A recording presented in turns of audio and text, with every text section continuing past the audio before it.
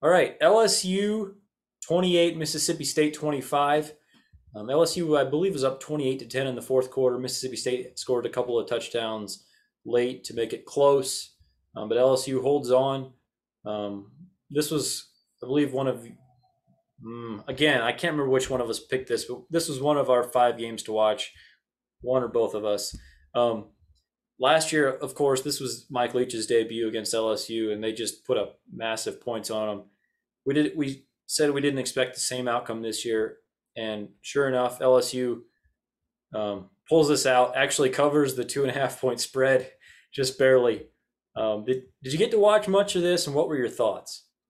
Yeah, bits and pieces. Um, uh, must win game for Coach O. No other way to put it. Must win game. Might not get back on the on the on the team playing if he loses this game. Uh, if you get my drift. So I just I think it was very similar. I think kind of to what we saw teams play Mississippi State. They're going to play uh, just a zone, and we're going to let you complete all these passes underneath.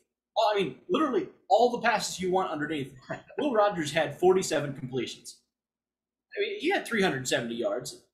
They they moved the ball, but it yeah they just let him have all the two yard screen plays that they wanted, and we'll just come up and make a tackle, and that's what they did.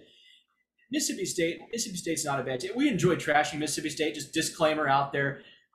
This pod and Mississippi State fans, we will go back and forth. They're, we're kind of rivals, I think, maybe at this point. But it, which, by the way, was not at all our intention before the season started. It was just it's sort of turned into that based on some of the reactions we've gotten. It has. I we didn't go in looking for a fight. Please do not get this confused. We were just, hey, I, I like Mike Leach. I think it's fun. I, I like what he does there. But yes, there were some delusional Mississippi State fans who thought that they they may go undefeated, um, even when they were going up to the Alabama game. I think someone said maybe. So, no, it's hey, you know what they they beat they beat NC State, and suddenly that win looks a lot better. So not a terrible year for NC State or for for, for Mississippi State rather, but this is just a huge win for LSU. Uh, you had to have it, and you've got some some more of these coming up. You're not done with the must win games if you're Coach O. But this is a, this is a start because this game was actually not as close as the final score indicated. Some garbage time touchdowns kind of tightened this up at the end. But LSU was in control of this game and was the better team and, and that's hey, that's an improvement from what you saw even week one against UCLA. Uh, I think you see the defense is is shoring up a bit. They're they're not they're not great yet, but they're they're getting better. They're improving. They're not getting run on quite like they were week one.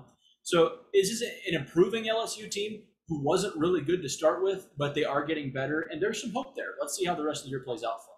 Yeah, absolutely. I, I, this is this does not diminish my view of Mississippi State at all, but it does it does maybe improve my view of LSU going forward, just because there was a question about do they care? Like, are they actually going to be playing to win here? You know, they were out, they were without Derek Stingley today, and they looked like they actually gave a crap. Like they came out, um, played pretty well. Like not this is not two years ago LSU.